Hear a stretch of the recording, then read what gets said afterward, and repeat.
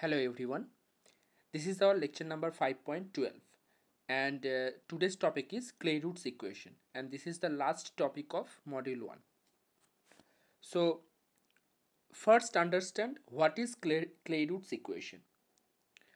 So obviously Clairaut's equation this is first order equation, first order and uh, higher degree equation.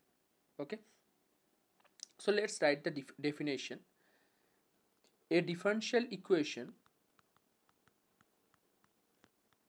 differential equation of the form of the form y equals to px plus f of p is known as Clairaut's equation.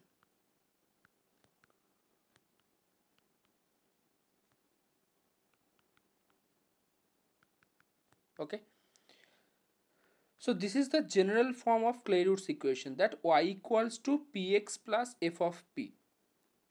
If you take a look on the general form of Clairaut's equation, here you can see the left hand side is y and the right hand side is xp plus f of p. That means the right hand side this is nothing but this is the function of f of x and p.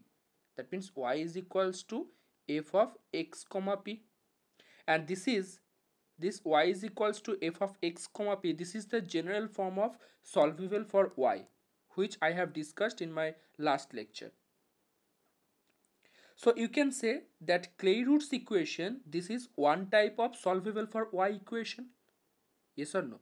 But the here the main pattern is you can you have to write in this form. y is equals to the product of x and p and the remaining part that will be only function of p.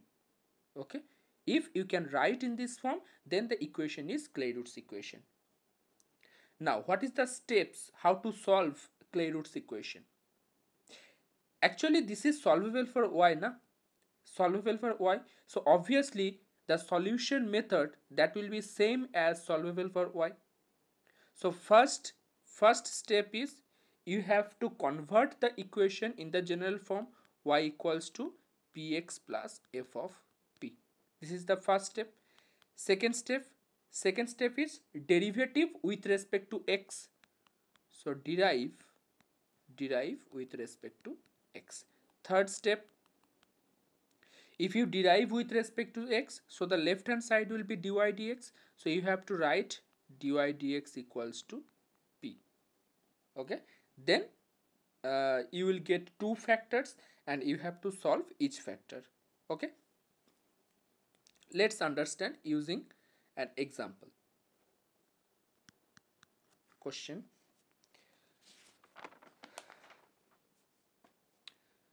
Let's take an easy example. Find the general and singular solution. Singular solution of y is equals to x dy dx plus dy dx whole square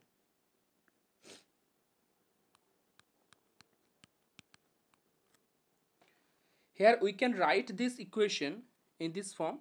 Y is equals to xp plus p square because we know that p is equals to dy dx. Okay? Now derive with respect to x. So left hand side will be dy dx. This is equals to p plus x dp dx plus 2p dp dx okay. Now you have to write p in place of dy dx so this will be p is equals to p plus x dp dx plus 2p dp dx okay. Here p cancelled. So you are getting x plus 2p into dp dx this is equals to 0 here you can see that we have two factors. X plus 2p and dpdx and in my last lecture I already have told you that in this case you will get two solutions general solution and singular solution. You will get the general solution from that factor which is containing the derivative term. Okay? And you will get the sing uh, singular solution which is not containing the derivative term. Clear? So first dp dx equals to 0 so if you integrate this you will get p is equals to c arbitrary constant. Okay? Let's say this is equation number 1 this is equation number 2 and from the another factor x plus 2p equals to 0 let's say uh, p is equals to minus x by 2 this is equation number 3 okay? So we have here we have three equations. Uh, y equal given equation y equals to xp plus p square. Uh, second equation is p is equals to c and the last equation is p is equals to minus x by 2 and in my last lecture I have told you now you have to eliminate P from equation 1 and 2 if you eliminate P from 1 and 2 you will get the general solution. If you eliminate P from 1 and 3 you will get the singular solution. Okay? So from 1 and 2 just you need to put the value of P in given equation. So y is equals to cx plus c square. Okay? Which is which is the general solution okay now from 1 and 3 1 and 3 here p is equals to minus x by 2 so y is equals to x into minus x by 2 plus uh, p square. p square means x square by 4. So this is equals to minus x square by 2 plus x square by 4. This is equals to, uh, this will be minus x square by 4. Okay. And if you simplify, you are getting x square plus 4y equals to 0 and this is nothing but singular solution clear so for this uh, differential equation the general solution is y is equals to cx plus c square and the singular solution is x square plus 4y this is equals to 0 clear? Let's solve another problem.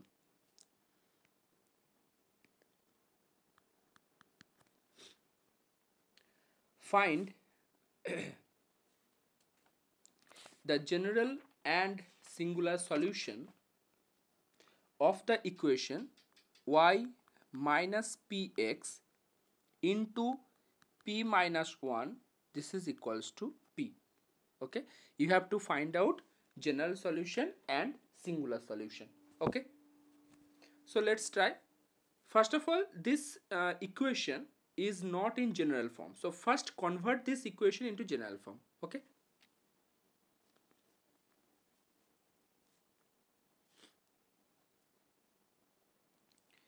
So the equation is y minus px into p minus 1 equals to p. Okay. And we have to write in the form of y is equals to px plus f of p in this form okay so you can write this equation as y minus px this is equals to p by p minus 1 yes or y is equals to px plus p by p minus 1 clear? Now you can see that easily. This is y is equals to px plus f of p form. So obviously this is Clairaut's equation. Clairaut's equation. Okay? Now differentiate with respect to x. So this will be dy dx. This is equals to p plus x dp dx plus p by p minus 1 okay? So u by v formula p minus 1 whole square p minus 1 is fixed that will be dp dx minus p is fixed derivative of p minus 1 is dp dx okay? Or p is equals to p plus x dp dx plus. From here you can see this is p minus 1 dp dx and this is minus p dx. So p and minus p cancelled. So you are getting minus 1 dp dx. Yes or no? That's why i am writing minus. So this will uh, the numerator will be minus 1 that's why 1 by p minus 1 whole square dp dx. Clear and here p cancelled. Okay. So now you have two factors. First factor is x minus 1 by p minus 1 whole square. And the second factor is dp dx. This is equals to 0 now if you solve dp dx equals to 0 after integrating you will get p is equals to c. And this is equation number 2 this is equation number 1 the given Clairaut's equation. And the second factor is x minus 1 by p minus 1 whole square. This is equals to 0 now from this factor you will get the singular solution. Now from this factor if you uh, find out the value of p so what will be the value of p first take uh, the variable x to right hand side okay? So this will be 1 by p minus 1 whole square. This is equals to x.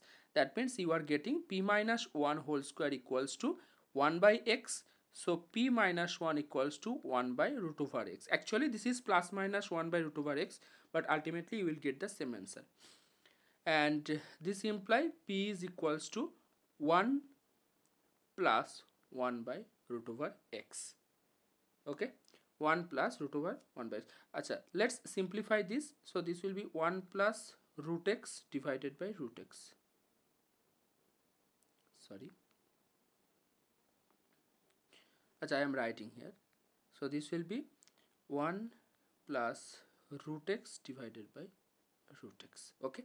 So the value of p is 1 plus root x divided by root x. Now uh, this is equation number 3 now from 1 and 3 from 1 and 3 you will get the general solution. Just you need to put the value of p in this equation. Okay? So y is equals to cx plus c by c minus 1 which is the general solution. General solution okay? And sorry one not 1 and 3 this is 1 and 2 from 1 and 3 so y is equals to what is the value of p? P is equals to 1 plus root x divided by root x. So this will be x into 1 plus root x divided by root x plus 1 plus root x divided by root x whole divided by 1 plus root x by root x minus 1 okay? Now simplify. This is equals to x and root x cancelled. So this will be root x into 1 plus root x plus. So this is 1 plus root x divided by root x whole divided by 1 plus root x minus root x divided by root x. So root x root x cancelled. And this root x this root x cancelled. So you are getting root x into 1 plus root x plus from here 1 plus root x. Okay so this is equals to root x plus x plus 1 plus root x. So this is equals to x plus 1 plus 2 root x. Okay. you can write this in this form y minus x minus 1 this is equals to 2 root x okay and if I if I square both sides so you will get y minus x minus 1 whole square this is equals to 4x okay? And this is your uh, required singular solution which is the singular solution okay? So in this way you can solve this type of problems Clairaut's equation. So if today I have completed the full syllabus of module 1 that means first order first degree equation and first order higher degree equation. Now try to solve your textbook problems and uh, your previous year question papers also. Thank you so much